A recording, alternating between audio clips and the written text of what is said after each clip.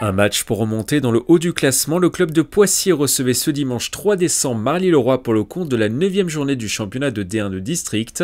Après avoir ouvert le score, les Pissiaquais se sont fait égaliser en seconde période, un partout. Un match que les joueurs locaux auraient pu perdre, mais les Marlichois n'arrivent pas à conclure.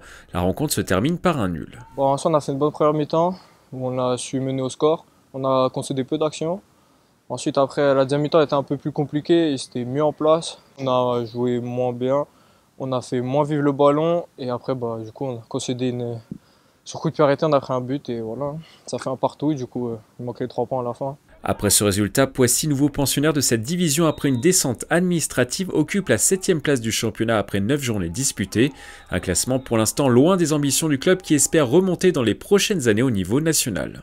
La nationale 2 c'est loin encore, d'abord passer l'étape D1 pour atteindre la R3 et après on verra étape par étape. La nationale 2 c'est très loin pour le moment. Le but, c'est que Poissy, ça remonte le, plus haut possible comme c'était, dans toutes les catégories, que ce soit chez les jeunes, chez les seniors, chez les filles, partout.